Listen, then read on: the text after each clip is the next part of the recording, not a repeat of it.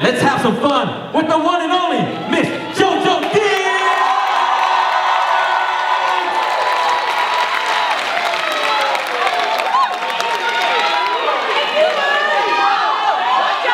It's on fire tonight. It's on fire tonight.